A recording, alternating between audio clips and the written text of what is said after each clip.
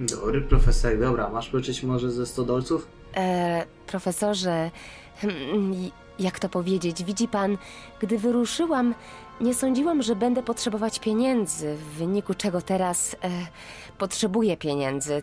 To delikatna sprawa, rozumiem, ale czy nie mógłby mi pan pomóc? Moja droga, z przyjemnością. Ale rozumie pani sama, że sumy wypłacane mi przez uniwersytet wystarczają zaledwie na moje skromne wydatki. Proszę wybaczyć, nie chciałam pana urazić. Biorąc wzgląd na przypadek Hansa, możemy stwierdzić, że uniwersytet zawsze wynagradza ludzi świadczących dla niego usługi. To jednak pozostaje w jurysdykcji naszych drogich rektorów. Jedno pytanie, skąd on wiedział w ogóle coś o Hansie? Jak żeśmy nic nie wspomnieli, a on już wiedział o Hansie. Pomoc. Czuję, że się trochę zgubiłam. Przydałaby mi się pańska pomoc. Moje drogie dziecko, wybrałaś zły moment. Absolutnie Dobra. Wykład i tak, i nie. Konkretnie o ich zostawię pana w spokoju. słucha. Dobra, dobra, dobra, dobra. Dalej coś można tutaj przejść? Można. Jakieś wielkie drzwi są. Mi doprowadzą pewnie do jakiejś, nie wiem, hali wykładowej. Zamknięte. Bez sensu, zamknięte. A jakbym dał hak? Nic nie zrobisz. Okej. Czyli tutaj nie mamy absolutnie nic do zrobienia. Cofation się tam. Teraz tylko jestem ciekawy skąd wziąć te 100 dolarów. Czy do jakiejś roboty trzeba będzie iść, czy co? Dobra, tutaj wejdziemy.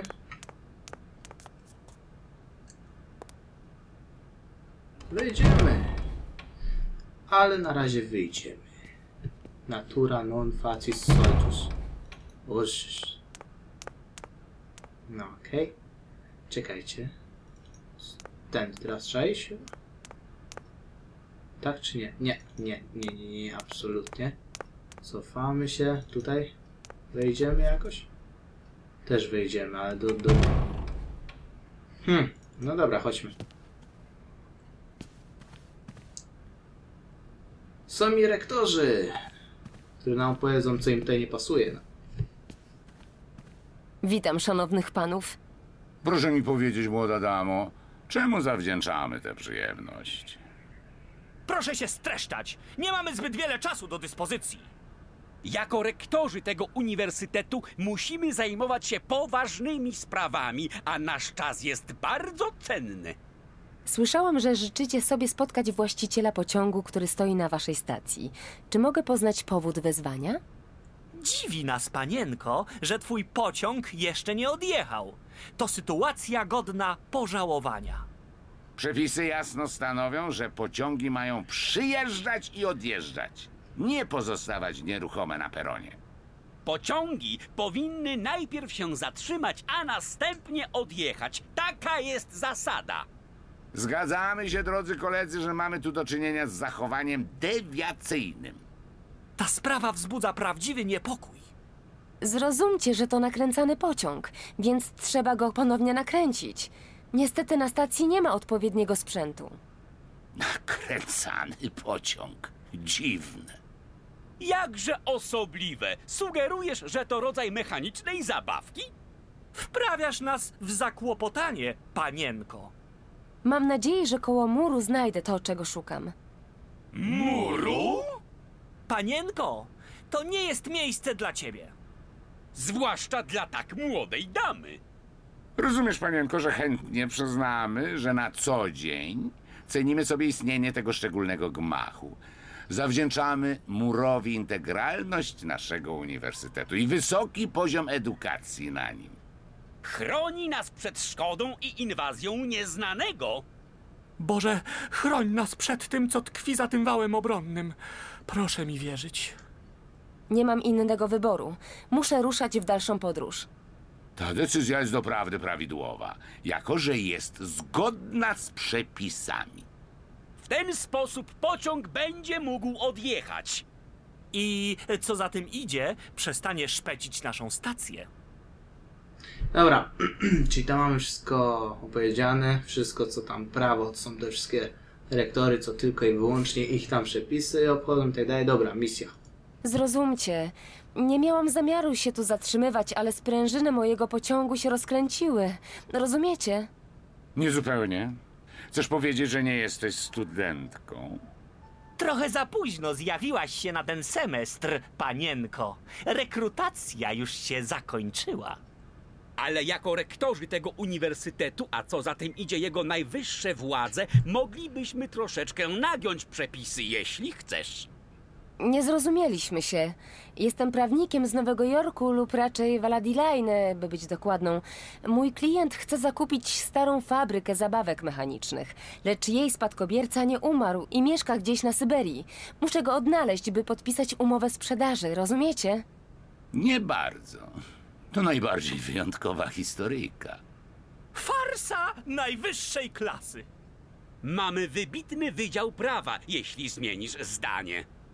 Dobra, czyli tutaj nic raczej nie, nie, nie osiągniemy. Dobra, pieniądze. Pewni żeglarze zgodzili się odholować pociąg, ale nie mam pieniędzy, by im za to zapłacić. Zastanawiałam się, czy nie moglibyście mnie jakoś wspomóc na chwilę.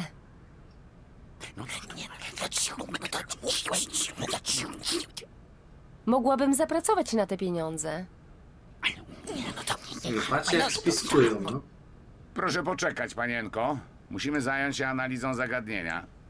To prawda, musimy zająć się tym zagadnieniem sami. Należy podjąć kolegialną decyzję. Mam nadzieję, że nie zniechęcamy tym panienki. Dlaczego nie? Jeśli pozbędziemy się pociągu. Daję słowo, że to dobry pomysł. Co macie na myśli, panowie? Zapewne po swoim przyjeździe zauważyła pani wspaniałą estradę zdobiącą główny plac uniwersytetu. Unikalny obiekt rzemiosła mechaniki, który od dawna nie działa. Niestety. Doprawdy nasze wspomnienia pięknych melodii są nadal jak żywe. Jesteśmy gotowi zaproponować pani nagrodę finansową za ponowne jej uruchomienie. Z przyjemnością. Co mam zrobić? Niestety, moja droga, czas i rdza zebrały swoje żniwo na tym uniwersytecie, a naszym automatom brakuje sprężyn. Ha, ha, ha! Ho, ho, ho, ho, ho! Więc będziesz musiała być pomysłowa. Prawdę mówiąc, w Barkstadt jest wiele skomplikowanych urządzeń, ale chyba zgubiliśmy instrukcje dotyczące ich działania. Jednak twój pociąg to wyjątkowo pomysłowy wynalazek, więc skomplikowane urządzenia nie powinny być ci obce, prawda? Co więcej, liczymy na twoją pomysłowość, panienko. Mam nadzieję, że okaże się godna waszego zaufania, panowie. Więc, moi drodzy koledzy, kolejna gładko rozstrzygnięta sprawa uniwersytetu. Dobra, mamy to. Siedzimy tu zajęci ciągłym gadaniem. Spójrzcie na zegar. Czas na herbatę. Już? Doprawdy, ale już ten czas leci. Bardzo dziękujemy, panienko, za tę uroczą wizytę. I ja dziękuję, panowie. Okej, czyli będziemy mieli skąd wziąć pieniądze, tylko musimy naprawić coś przed machem budynku. To chyba była taka ala studnia.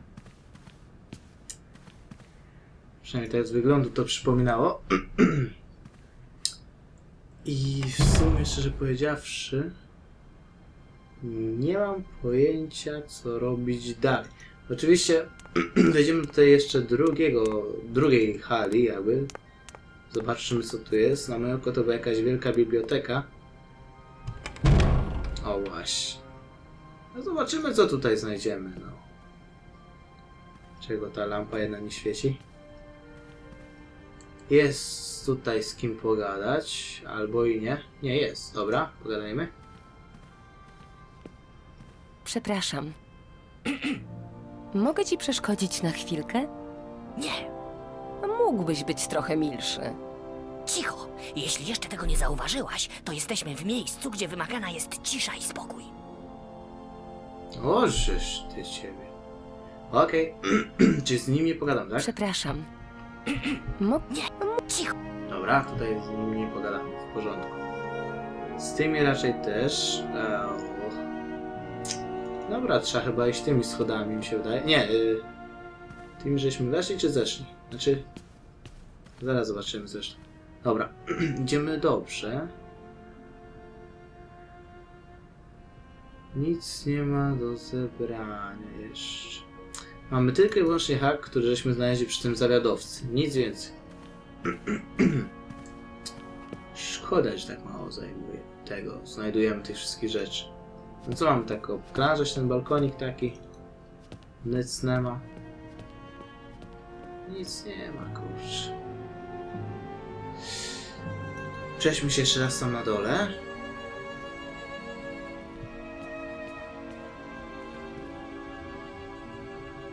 Z tym nie zagadasz, z tym nie zagadasz, z tym nie zagadasz. Bla bla bla bla. Przejdźmy się jeszcze raz po tym całym balkoniku. Tutaj, o, coś będzie? Nic. No nic nie ma do dotknięcia, do wzięcia, na wzdęcia. Dobra. Tutaj chyba absolutnie nic nie będzie, z nikim nie pogadam, ale no nie chcę mi się wierzyć, że jest taka loka- lokalizacja, która nic nam nie dodaje, nic, nic, nie, nic tutaj niby nie ma do zebrania, nic nie ma, żadnej rozmowy nie możemy z nikim przeprowadzić, troszkę. Beznadzieja, szczerze powiedziawszy.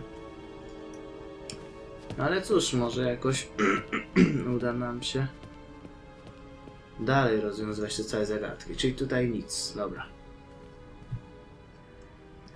Mamy coś naprawić. Dobra, chodźmy może... O, tutaj coś. Na tego mamuta mam popatrzeć, tak? No i co? Jestem przy mamucie. No to przejdźmy się może po tych schodkach. I zobaczymy co tutaj będzie. Na pewno schody do góry. Jakieś kolejne drzwi. Albo i nie. O, ale jest chyba z kim pogadać. Co to za ziomuś? Ej, no dobrze. Siedział. Tutaj. Dobra, zejdź. Można z nim pogadać, czy on tylko tak po prostu? Ojejku, jejku, widać projektor, rzutnik. Znaczy no, projektor, rzutnik to jest w sumie to samo. No śpi chyba. Okej. Przejdźmy tą stronę. Coś będzie, czy nie będzie? Bez sensu, zamknięte. Zamknięte, niedobrze, niedobrze. Okej. Ten tutaj śpi. Może na dole coś jeszcze znajdziemy. Pyk, pyk, pyk, pyk, pyk, pyk, pyk. Okej. Dalej, coś da się iść? Niekoniecznie. No dobra, znowu wchodzimy. Nic tutaj raczej nie ma. A przynajmniej nic ciekawego, a szkoda. Hmm. No nikt nam nic nie powie, kurczę, no. Oskar tam siedzi w tym pociągu, nic ci nie pomoże. A ty, kurczę, szukaj rozwiązania. Żeby zarobić, na, żeby zarobić właśnie te pieniądze, żeby móc uruchomić, nakręcić w ogóle ten cały pociąg żeby właśnie wszystko grało, buczało, jechało. Dobra, nie, tutaj nie, nic nie będzie mi się wydaje. Z tym raczej nic nie będzie. A może po prostu musimy przyjść do Oscara i powiedzieć, żeśmy byli u tych Przepraszam, profesorze. Profesorze, Co chciałaby pani wiedzieć? rektorów. Hmm. Pociąg? przyjazd do Barkstadt to niezwykłe doświadczenie. A przybyła pani pociągiem? Tak, pociągiem o napędzie sprężynowym, którego sprężyna rozkręca się regularnie. To znaczy, że prowadzi pani pociąg. A dzisiejsze młode damy nigdy nie przestają mnie zadziwiać. O nie, nie jestem maszynistą. Maszynistą pociągu jest automat, proszę wybaczyć. Wszystko to brzmi dziwnie. Nakręcany pociąg prowadzony przez automat. Znałem kiedyś dawno temu człowieka, który mógł skonstruować taki pociąg. To ten sam, który zbudował naszą estradę na głównym dziedzińcu. Pomyśleć, że był zdolny stworzyć takie urządzenie. No prawdziwy geniusz. Osobliwe, że jednocześnie był prawie jak dziecko. Jak gdyby jego psychiczny i fizyczny rozwój zatrzymał się w wieku 10 lat. Czy może pani w to uwierzyć? Tak, wierzę. Przynajmniej zaczynam w to wierzyć. Dobra, czyli... E, o, może coś o Hansie w końcu wie. Szczerze mówiąc, poszukuję Hansa Wollerberga. Jest on jedynym spadkobiercą niezwykłej fabryki. Mojej firmie powierzono negocjacje w sprawie przejęcia tego zakładu. Według ostatnich informacji żyje on na Syberii, więc gdy tylko mój pociąg będzie znów gotów, zamierzam kontynuować moją podróż na wschód. Syberia, a? Syberia. Ale, ale o czym pani mówiła? O czym? Wspomniała pani nazwisko osoby, której pani szuka. Wollerberg? Hans Wollerberg? Czy pan go zna? Hans Vorarlberg. No jak mógłbym go zapomnieć? Niezwykły jegomość, taki pomysłowy. Dzieliliśmy zainteresowania mamutami. Ta pasja nas związała. Gdyby nie on, przyznam się, miałbym niewiele wspólnego z tak dziwnie opóźnioną osobą jak Hans. W tym czasie obaj byliśmy studentami.